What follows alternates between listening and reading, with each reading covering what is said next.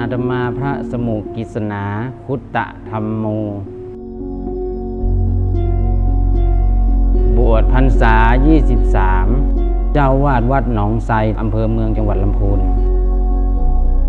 เมื่อก่อนเคยเป็นสามเณรบวชตั้งแต่อายุ 13 จบป .6 นะครับ แล้วทีนี้มีเหตุให้ทั้งบ้านน่ะบังคับให้ศึกตอนเป็นสามเณรนะ จำได้ว่าตอนนั้นขึ้นไปบนบ้านแล้วก็ร้องไห้ไม่อยากศึก พอเกณฑ์ทหารเสร็จแล้ว แล้วคิดว่าคงถึงเวลาที่จะต้องมาบวชอีกครั้งหนึ่ง ก็เลยกลับมาบวชเป็นพระนะครับ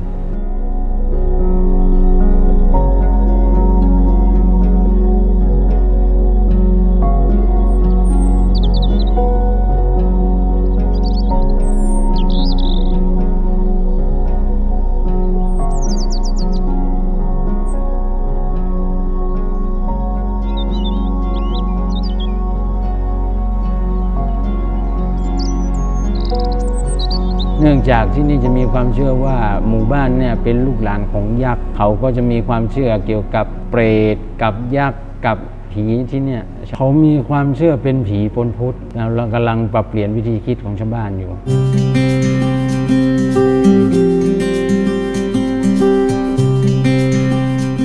เรียน DOU เพราะว่าเราก็ต้องศึกษาธรรมะของพระพุทธเจ้า แล้วก็นำสิ่งนั้นมา สอนญาติโยมชี้ทางให้ชาวบ้านทำบุญ การจะเทศสอนชาวบ้าน การจะนำหลักธรรมของพระพุทธเจ้ามาใช้มาปฏิบัติเทศให้กับญาติโยมอบรมสั่งสอนญาติโยมเนี่ยจะต้องมีหลักฐาน จะต้องมีอ้างอิง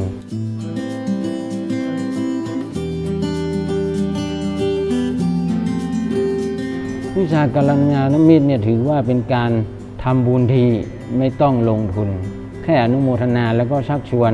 บอกบุญ เป็นสะพานบุญให้กับผู้อื่น หลวงพี่จะเน้นย้ำญาติโยมของหลวงพี่ว่า อย่าขวางบุญ อย่าห้ามบุญ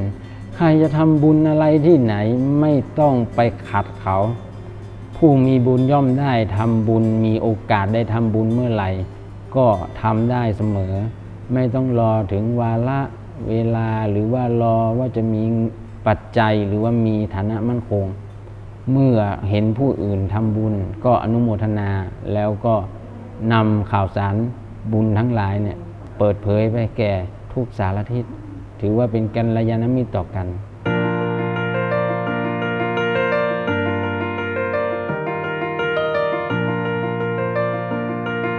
จากการที่ได้เรียน DOU นะทำให้เห็นว่าพระศาสนาของเรานะ่ะทุกแขนงทุกวิชาการ ทำให้เรามีปัญญามากขึ้น เห็นแสงสว่างมากขึ้นทำให้เราหาความรู้อยู่สม่ำเสมอ แล้วก็ไม่ละทิ้ง ไม่ปล่อยปะละเลย เกี่ยวกับการศึกษาธรรมะของพระพุทธเจ้า DOU เนี่ยเปิดโอกาสให้กับพระพิสุสามเณรถึงแม้จะไม่มีทุนทรัพย์ ไม่มีปัจจัย ทุนการศึกษาสำคัญมาก พระเดี๋ยวนี้ถ้าไม่มีปัจจัยไม่สามารถจะเรียนได้ ถือว่ามหาวิทยาลัยนั้นได้สร้างกุศลนั้นยิ่งใหญ่ ศรัทธาญาติโยมที่สนับสนุนการศึกษาของพระพิสุสามเณรแม้แต่ปัจจัยหรือว่าทั้งกำลังทรัพย์กำลังกาย ท่านทั้งหลายคือผู้ที่ได้สร้างพุทธบุตร ได้สร้างองค์ความรู้ให้กับพระพิสุสามเณรได้นำไปประพฤติปฏิบัติ เมื่อประพฤติปฏิบัติแล้วสามเณรกับพระนี่จะต้องสั่งสอนญาติโยมนำสิ่งนี้ไปเผยแผ่พระพุทธศาสนาต่อไปถ้า พระภิกษุหรือสามเณรไม่มีความรู้ ไม่มีความเข้าใจในพระศาสนาพระศาสนาเราก็จะอยู่ไม่ได้ ท่านทั้งหลายคือผู้ที่สร้างกำลังสร้างพระละอันยิ่งใหญ่